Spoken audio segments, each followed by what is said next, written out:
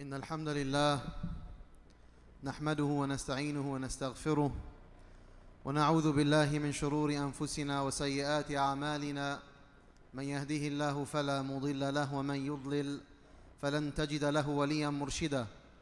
ونشهد أن لا إله إلا الله وحده لا شريك له. ونشهد أن محمدا عبده ورسوله وصفيه من خلقه وخليله. تركنا على المحجة البيضاء ليلها كنهارها لا يزيغ عنها إلا هالك ولا ينتظم في سلكها إلا سالك. اللهم صل وسلم وأنعم وأكرم وبارك على حبيبنا وشفيعنا وملاذنا وقرة عيوننا سيدنا محمد صلى الله عليه وسلم. اللهم صل وسلم وبارك عليه في الأولين. اللهم صل وسلم وبارك عليه في الآخرين. اللهم صل وسلم وبارك عليه في الملأ الأعلى إلى يوم الدين. يقول عز من قائل يا أيها الذين آمنوا اتقوا الله حق تقاته ولا تموتن إلا وأنتم مسلمون. اللهم اجعلنا منهم يا رب العالمين. اللهم آمين.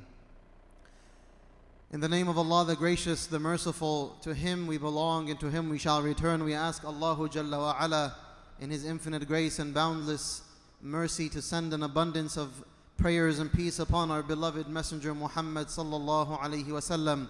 We ask Allah subhanahu wa ta'ala to have mercy upon us in these blessed days of Dhul Hijjah. We ask Allah subhanahu wa ta'ala to have mercy upon this ummah in these blessed days of Dhul Hijjah. We ask Allah subhanahu wa ta'ala to elevate the ranks of the ummah of Muhammad sallallahu alayhi wasallam in these blessed days of Dhul Hijjah, Ya Rabbil Alameen.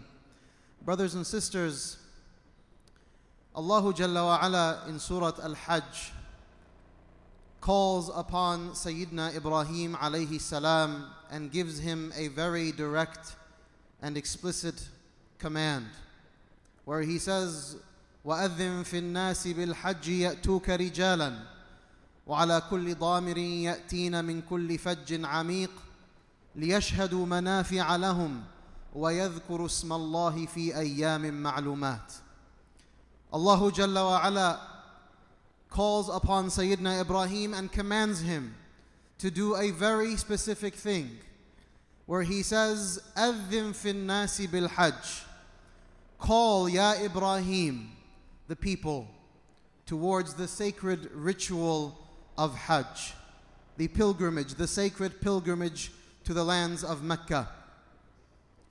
And this adhan, when we hear this word, we're familiar with the adhan being the call to prayer. But here, this is the adhan, the magnificent adhan of Ibrahim alayhi salam, which was made over 4,000 years ago, where he called all people till the end of time to the house, the sacred house, to the house of Allah Jalla wa ala in, in Mecca al-Mukarramah. And this is the very essential call that is the essence of surrender to Allah Jalla wa ala. That the entire life of the believer is responding to the call of Allah and His messengers and His prophets to surrender and to submit. Allah Jalla wa ala says, وَأَذِّن فِي النَّاسِ وَأَذِّن في الناس بالحج يأتوك رجالا وعلى كل ضامر يأتين من كل فج عميق Call the people towards Hajj and they will come to you whether walking رجالا أو على كل ضامر or upon any ضامر and ضامر brothers and sisters is the weakest form of a beast of burden, a weakest animal that can be ridden. What Allah Jalla wa ala is saying is that throughout, for the rest of time, people will come in all forms of transportation, whether on foot, on camelback, on horseback, on mule, in planes, in boats, cars, trains, people will come and they will flurry to the sacred house. يأتون من كل ف... they come from every فج عميق from every vast crevice in the earth every corner every pathway every aisleway people will come no matter how close or how far for two things ليشهدوا منافع لهم ويذكروا اسم الله في أيام معلومات so that they can be exposed and be witness and receive so many benefits and blessings for themselves and that they remember Allahu Jalla wa ala in those numbered and apportioned days. Brothers and sisters, this call of Ibrahim alayhi salam was responded to by millions upon millions and millions of people throughout time. The Prophet ﷺ himself responded to the call of Sayyidina Ibrahim. We're on the 5th of Dhul Qa'dah. The Prophet ﷺ on the 10th year of Hijrah, he called upon his ummah and he said, Today we will make the sacred pilgrimage of Hajj. Accompanied with him from Medina was over 100,000 companions as they journeyed towards Mecca al Mukarramah to fulfill the call that was called by Sayyidina Ibrahim alayhi salam. And as the Prophet sallallahu alayhi wasallam was journeying through the lands from Medina towards Mecca, he would stop and he would pause in moments and he would say, Here in this valley, in this region, كأني أرى موسى وهو يعج بالتلبية it is as if I see Musa when he happened upon Wadi al-Azraq, a valley, a valley known as Al-Azraq. He said, I see Musa. كأني أرى Musa. It is as if I see Musa standing here. يعج بالتلبية. And يعج means that he was calling out. That his heart, his soul, and his body was reverberating the talbiyah. لبيك اللهم لبيك لبيك لا شريك لك لبيك إن الحمد والنعمة لك والملك لا شريك لك The Prophet ﷺ is saying that Musa alayhi salam was standing here with his people making the talbiyah. And he would walk a little bit further and he would pass upon another valley or mountain. He would say, Yunus alayhi salam came here with his people and he made the talbiyah. And today here we are the Prophet is saying, With you, my companions, and we are making the same exact talbiyah. Labbaik Allahumma labbaik. And these words, brothers and sisters, the words of the talbiyah are beautifully sacred and profound words because they speak to the very essence of what it means to be a Muslim, someone who surrenders themselves to Allah. When the believer says labbaik, they are saying, Ya Allah, I hear the call and I am at your service. Labbaik means I am at your service, Ya Allah. You created me, you sustain me, you are the creator of the heavens and the earth. You call me, and I say, I surrender, and I am at your service, Ya Allah. Labbaik la sharika laka labbaik. I am at your service, Ya Allah, and I know there is no one who is a partner with you. There was no one who is associated with you even remotely. The purity of Tawheed, the oneness of Allah Jalla wa ala. Inna alhamda wal ni'mata laka wal mulk. That verily, Ya Allah, all hamd, all praise, and all blessings belong to you and are from you. Wal mulk. They belong to you and all dominion is yours. You are owner of all things. You have ownership over this entire creation. La sharika laka labbaik. There are no partners to you, and Ya Allah, we are at your service. Brothers and sisters, when we review these words and think about them, we realize that this is our entire theology. Our entire belief system is rendered down to these as this, this meaning of surrender to Allah, of responding to Allah's call and saying, Ya Allah, I am at your service. I remove my ego. I have no ego in front of you, Ya Allah. I have no opinion in front of you, Ya Allah. You tell me what to do, Ya Allah, and that is essentially and precisely what I will commit myself to doing. Because I know that my only virtuous existence on this earth lies in my commitment to you. Allah, God, the creator of all things. And that is the call, brothers and sisters, that today millions of people from across the world are preparing themselves for. There are already many who have gone, and in the coming days, many will go. And on the eighth day of Dhul Hijjah, millions of people, around 4 million people, will be present in the sacred lands making Hajj. And if it wasn't for the quota of 4 million just to regulate the traffic, you know that it would be millions upon millions, at least 10 to 20 millions, if not more, who would be there making the Hajj. A sacred and truly miraculous pilgrimage, brothers and sisters, that all of us, our hearts must be attached to All of us, whether we are going or not, we should long for that sacred space. Allah Jalla wa ala in Surah Al-Hajj says, ذَلِكَ وَمَن يُعَظِّمْ شَعَائِرَ اللَّهِ فَإِنَّهَا مِن تَقْوَى الْقُلُوبِ That verily those who glorify the sacred rituals of Allah Jalla wa ala, that is the very essence of what it means to have taqwa in the heart, to have God consciousness in this soul. To have God consciousness is what the entire journey of the believer is to be mindful of Allah. And so when Hajj comes, we don't just say, oh, well, that's not something I have the capacity to do, so I don't care. No, I have to long for the Hajj. I have to yearn for the Hajj. The Prophet ﷺ, he yearned to be around the Kaaba. He was kicked out of Mecca and he lived all of those years yearning for the sacred house. And when Allah Jalla wa ala purified Mecca al-Mukarrama and he purified the Kaaba, he called upon Muhammad sallallahu alayhi wasallam and he said, "Now you come wa taqsid bayt Allah al-Haram." Because Hajj linguistically means al-qasd, to desire, to pursue, to go after. And spiritually what Hajj is is qasdu baytillahi al-haram, is that we seek out and we yearn for baytullah al-haram.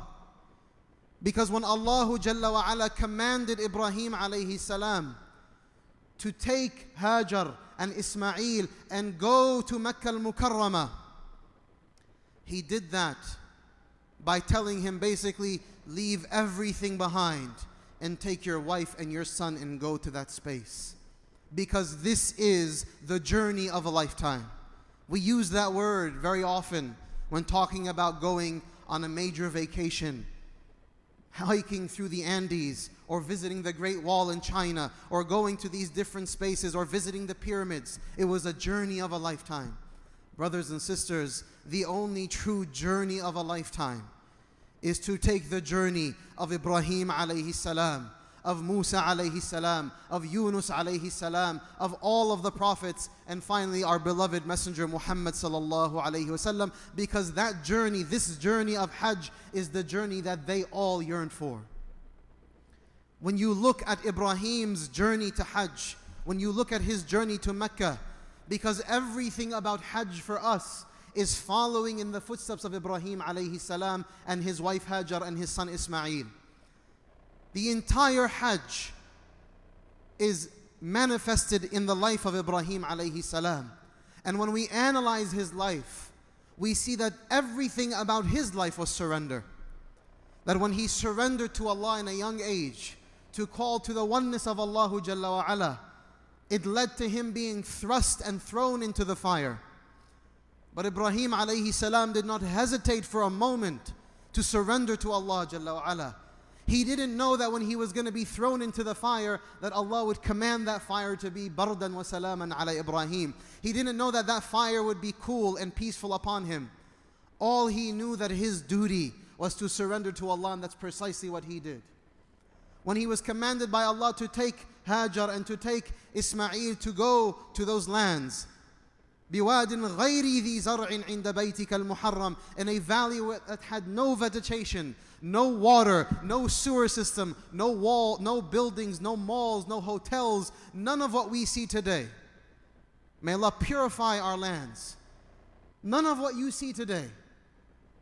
Barren, completely barren. He did not hesitate. He surrendered to the command of Allah Jalla wa ala. He did not know, brothers and sisters, that when he would go there and he would leave his wife and his son there, he had no idea that Zamzam was going to break. And when Hajar surrendered herself by asking Ibrahim, Did Allah, bihada? Did Allah command you to leave us here? She herself did not know what was to come, but they both knew that the essential purpose of their existence was to surrender to the command and the will of Allah. And so they did it lovingly. They surrendered beautifully. And Allah Jalla wa ala, after Hajar moving back and forth between As-Safa wal Marwa, which is precisely what we do when we go to Hajj and Umrah. Allah Jalla wa ala gifted her with this beautiful and miraculous wellspring known as Zamzam that nourishes the bodies of millions of Muslims until today. An unparalleled wellspring in human creation, the well of Zamzam.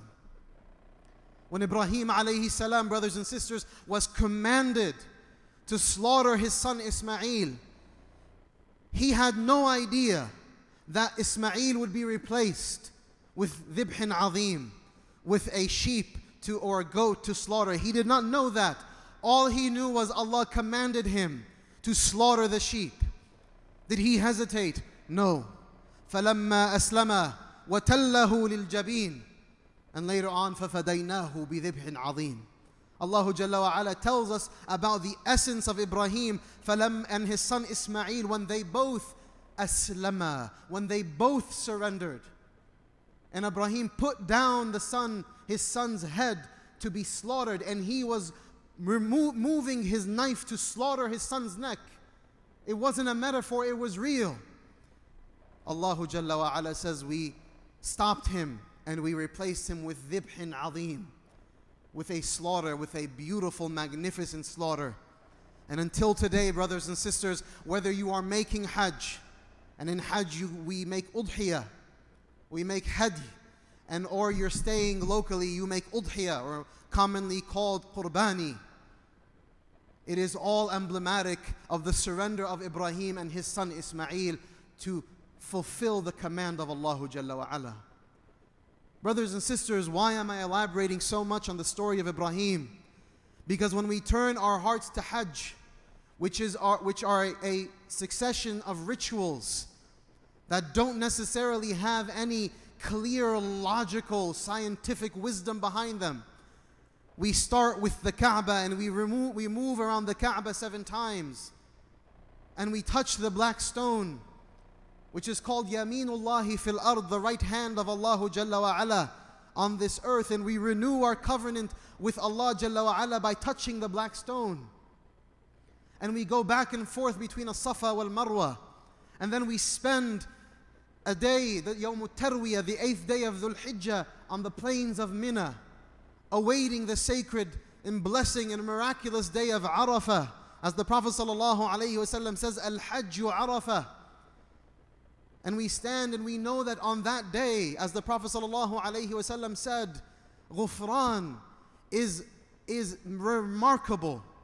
That there is no day when necks are saved from Jahannam like the day of Arafah. عندما يباهي الله بنا الملائكة when Allah Jalla wa ala boasts about us to His angels. And He says, Unzuru ila ibadi, look at my servants. they came to me shu'athan ghubra. They, they came to me in this state of sha'th and ghabar or ghubar. They came to me in this disheveled, dusty state, responding to my call. And so today, what I give to them is all that they desire. Al-Hujjaj wal-Ummar, wafdullah. That the one who makes Hajj and the one who makes Umrah is from the honored guests of Allah.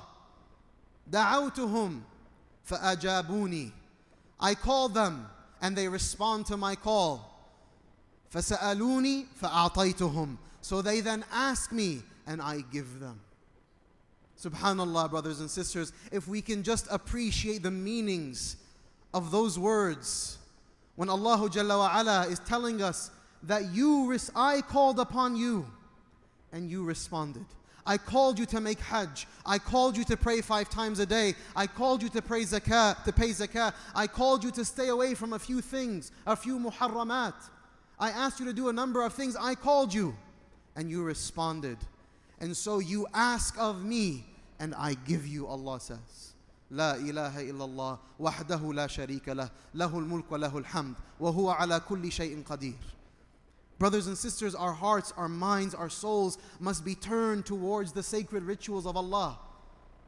When the Ibrahim alayhi salam was making dua, when he was asked by Allah to build the Kaaba, when Allah commanded Ibrahim to build the Kaaba, Ibrahim sat down, Sayyidina Ibrahim sat down and he made dua. And from the dua that he made is something truly profound. He says, فَاجْعَلْ أَفْئِدَةً مِّنَ النَّاسِ تَهْوِي إِلَيْهِ When he asked for the people to now come. He didn't just say, Ya Allah, I want bodies to come. He didn't just say, I want inanimate objects to come. He said, What I desire are afidatun minan nas, afidatan minan nas. I desire that it is hearts that come to me, that come to the sacred house. To say that everything about these sacred rituals is our hearts being directed towards Allah Jalla wa. And that's why we make tawaf with our left sides and not our right side. Because the heart is towards the left side of the chest. And so we are putting our hearts in the direction of the Kaaba to say, Ya Allah, our hearts simply reverberate around you, turn towards you. Allahu Jalla wa.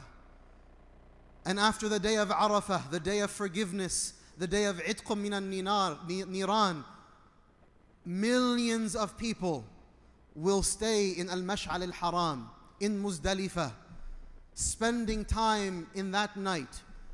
And for those who've made Hajj, as I've learned from them, there are no provisions, there are no, no tents, there's nothing in Muzdalifah. It's you in the open sky. It is so emblematic of the day of judgment. Everything about Arafah, everything about Muzdalifah is about the day of judgment. And when you think about it, you think about the fact that you're leaving behind everything. You're leaving your provisions, your clothing, you're leaving your family, your loved ones, what you're familiar with. You're divorcing the entirety of the world to go towards that journey that sacred journey to say to Allah, Ya Allah, I only care about you. Today I rid myself of all provisions to stand naked in front of you, as we will come to stand naked in front of Allah Jalla wa ala on the day of judgment. That is a reality, that is the truth, and Hajj is to remind us of that moment. When people are, are sleeping, standing, sweating, tired, sick, feet hurting, hot, bothered, winds, storms, it doesn't matter. You are committing yourself to Allah Jalla. Brothers and sisters, this is our life. When we think about Hajj, we have to think about the journey of life. That this journey of life is not about these material things that we covet or the comfort that we so yearn for, but it's about this journey of submission that regardless of what happens in this dunya, regardless of whether we get married, we have kids, we have money, we have health, those things are all tertiary. They're all secondary. But as long as I can meet Allah saying, Ya Allah, I come to you in full submission, then I have received victory in this dunya. That as long as I can make the dua of Sayyidina Yusuf, Tawaffani Musliman wa alhiqni bi salihin. Ya Allah, all I desire, after you put me through all of these different challenges in the dunya, all I care about is that you allow, to die me, uh, you allow me to die as a Muslim and you allow me to be with the righteous in the afterlife. Brothers and sisters, the Prophet ﷺ, when he speaks to us about Hajj, he tells us, He gives us guidance and language that should make us, com- that should compel us and drive every orifice of our body to yearn to be there, to strive to make it my life's mission to go towards Hajj. The Prophet ﷺ says, There is no reward for the Hajj that is mabrur illa al Jannah that the only reward for a righteous pilgrimage is Jannah. That when you make Hajj and you make a Hajj that is mabrur according to the way of Muhammad sallallahu alayhi wasallam, then you, you are guaranteed Jannah. May Allah grant us that. من حج ولم يرفث فلم يرفث ولم يفسق that those who make hajj and they do not make any fisq or any type of rafath then they will come back رجع كيوم ولدته أمه then they will come back just as their mothers gave birth to them that those who make hajj and they do not engage in any illicit behaviors and they do not make any fisq or fujur, any type of sinful behaviors, then they will return from that journey just like the day their mother gave birth to them. Brothers and sisters, so many of us, we are carrying so many burdens of sin, pain that we're living in because of infractions that we've committed, zina that we've committed, illicit relations with others that we've committed haram money that we've taken that we should never have taken, abuses that we have incurred upon others, all sorts of sinful behavior, prayers that we have neglected, fajr that, that we do not pay attention to, many, many salawat that we've neglected, zakah that we have not paid, Ramadans that we have not fasted. Allah Jalla wa ala is always giving us opportunities to have our entire slate cleansed and cleaned. And one of the most miraculous moments for that cleansing is Al Hajjul Mabrur. May Allah grant every single one of us Hajjul Mabrur. But, brothers and sisters, something that is so beautiful about Hajj that the Prophet ﷺ, that Allah tells us explicitly in the Quran. This is the only obligation that Allah uses the word istita'ah in the Quran.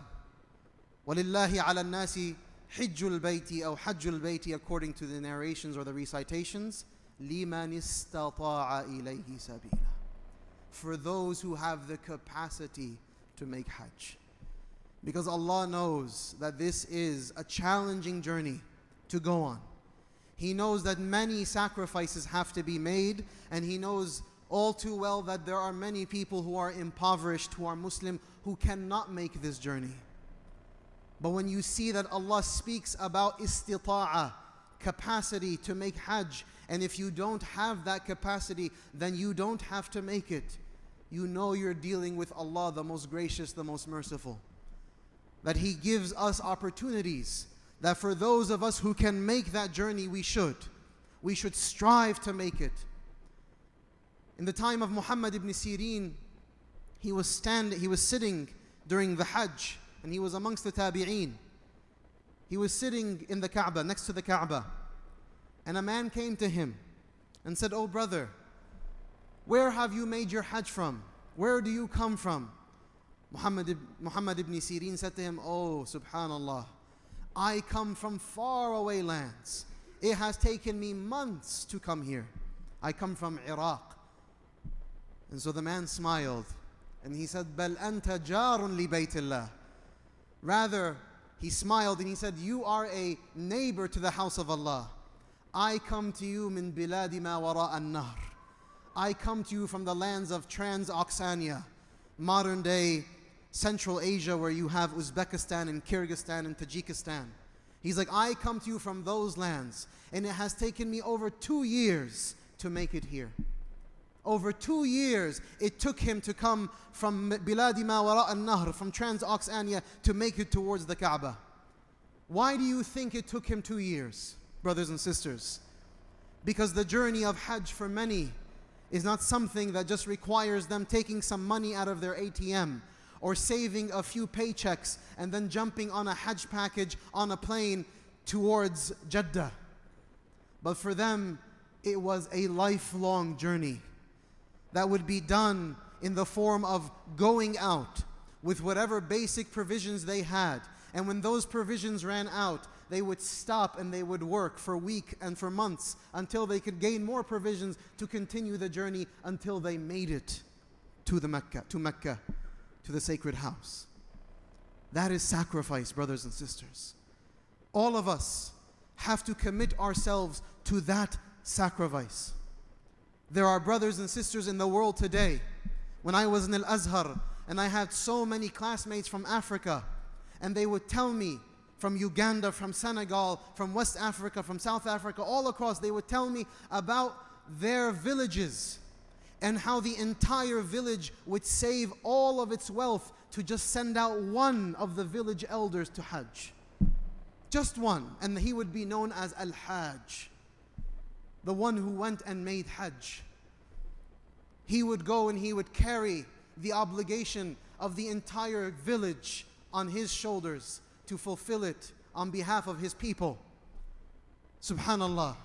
That is a journey of sacrifice. Today, brothers and sisters, I know many do not have the capacity to make Hajj, but that never means that you should not have the distinct intentionality that you will make Hajj. You implore Allah Jalla wa ala. You say, Ya Allah, I will make Hajj. Urzuqni Hajja. Grant me a Hajj. Say it from your heart, say it from your soul. Let your entire body shake that you will make Hajj. And if you're someone who has the capacity to make Hajj but has been lazy or neglectful, brothers and sisters, I warn you. Because the Prophet ﷺ has said very, very difficult things about the person who has the capacity to make Hajj and does not make Hajj. Basically, and I will not repeat it now because of how jarring it is, but he says that basically you should worry about your state when you die.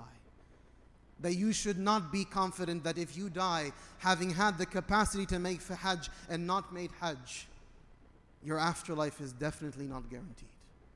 Brothers and sisters, we have to be mindful that this is a journey that should be, we should deeply be concerned about fulfilling.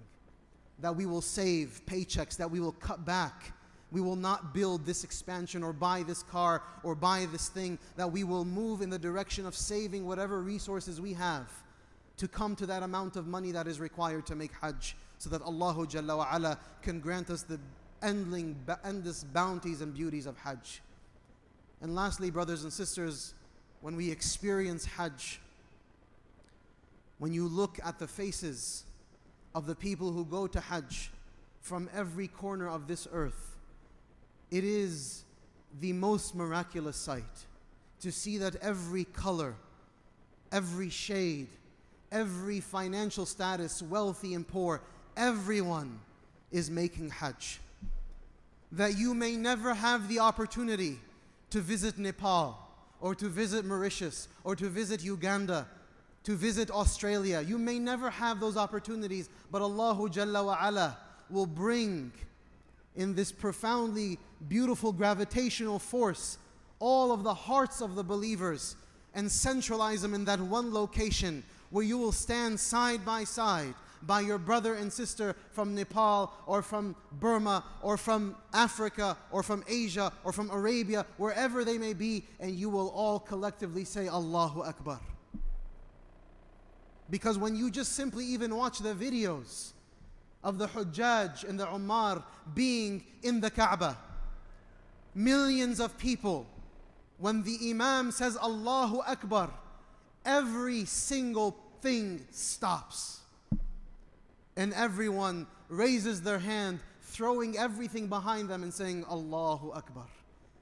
And you look and it's utter silence. You can watch this on YouTube. Go and just watch how you see millions of people bustling around. The Imam says, Allahu Akbar, and everyone stops. That is only indicative of one thing La ilaha illallah. La ilaha illallah. La ilaha illallah. There is no God but Allah. May Allah make our Iman and our Islam and our Ihsan beautifully fortified in our hearts. Brothers and sisters, in closing, for those who are not going to Hajj, for those who will be remaining here, don't ever forget that you are in the sacred and blessed days of Dhul Hijjah. And that in these days of Dhul Hijjah, if your intention is pure and you have the presence of mind that so many of the bounties that the Hujjaj will receive, you can receive by being here. And especially the day of Arafah, when the Hujjaj will be on the plain of Arafah, here If the believer fasts on the day of Arafah, they receive two years of forgiveness the year that is to come and the year that has passed. One day, the ninth of Dhul Hijjah, which is next Thursday, you fast that one day, you receive two years of forgiveness. And so do not neglect these days. As your heart yearns to make Hajj, do not neglect what you can do here. Create a Hajj for yourself here in Boston. Come together in the house of Allah. Do your takbirat. As we said over the past two weeks, the days of Dhul Hijjah are days of al-ikthar min al-tahleel wa-takbir wa tahmid. These are days when you say in abundance, La ilaha illallah, walhamdulillah, wallahu akbar. La ilaha illallah, alhamdulillah, wallahu akbar. Ask Allah subhanahu wa ta'ala to make us amongst the muwahideen in these days, amongst those who, who truly believe in the oneness of God. I ask Allah subhanahu wa ta'ala to make us amongst the mukabbireen in these days, those who say Allahu Akbar, God is great, God is great.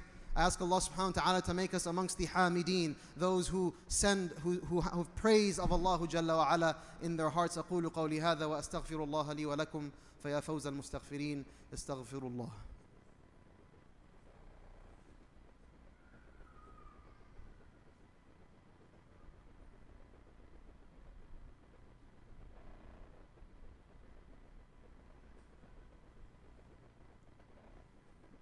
إن الحمد لله نحمده ونستعينه ونستغفره ونعوذ بالله من شرور أنفسنا وسيئات أعمالنا من يهده الله فلا مضل له ومن يضلل فلن تجد له وليا مرشدا Brothers and sisters, as Brother Yusufi noted before the Hajj, tomorrow, inshallah ta'ala, I myself will be embarking upon this sacred pilgrimage. And this is my first time to make Hajj. Allahu Jalla wa ala has willed it that this is my first time to make Hajj. And so I ask that you, being my community, to forgive me for my sins and my shortcomings. That if I have wronged anyone, or I have neglected anyone's requests, or if I have insulted anyone or hurt anyone, please forgive me from your heart so that Allah Jalla wa ala can open up the doors of His bounties and His blessings upon me, Ya Rabbil Alameen. And so, inshallah, I promise you that all of you will be in my dua. Every single one of you, inshallah, my community, this beautiful, blessed community in Boston, all of you, bi'idhnillahi ta'ala, will be in my dua, inshallah ta'ala. We ask Allah subhanahu wa ta'ala to forgive our sins and our shortcomings. We ask Allah subhanahu wa ta'ala to bless us on this day of Jumu'ah. We ask Allah subhanahu wa ta'ala to raise our ranks, to forgive our sins and to have mercy upon us. We ask Allah subhanahu wa ta'ala to grant us all hajjam mabrur. We ask us Allah subhanahu wa ta'ala to grant us a righteous pilgrimage to the sacred house in Mecca. We ask Allah subhanahu wa ta'ala to guide our hearts to righteousness and goodness. We ask Allah subhanahu wa ta'ala to make us of those who surrender their wills to Allah. Ya Allah, make us amongst the true Muslimin and the true mu'mineen, those who surrender their will to you and those who believe in you. Ya Allah, make us a people who fulfill your calls and your commands. Make us a people who respond to your calls when you call upon us. Ya Allah, we ask you to respond to our calls when we call upon you as you have promised. Ud'uni astajib lakum. Ya Allah, we call upon you in these days to guide our hearts, to purify our hearts, to forgive our sins to bless our children, to bless our families, to grant us good health and good wealth. Ya Allah, bless and protect our community. Uplift the conditions of the Muslims and the mu'mins across the world, Ya Allah. Protect our brothers and sisters in Syria, in Burma, in Yemen, in Iraq, in Arabia, in Africa, and all across the world, Ya Allah. We ask you to protect them and honor them and give, grant them victory in their affairs. أقول قولي هذا وأستغفر الله لي ولكم إن الله يأمر بالعدل والإحسان وإيتاء ذي القربى وينهى عن الفحشاء والمنكر والبغي يعظكم لعلكم تذكرون ولذكر الله أكبر والله يعلم ما تصنعون أقم الصلاة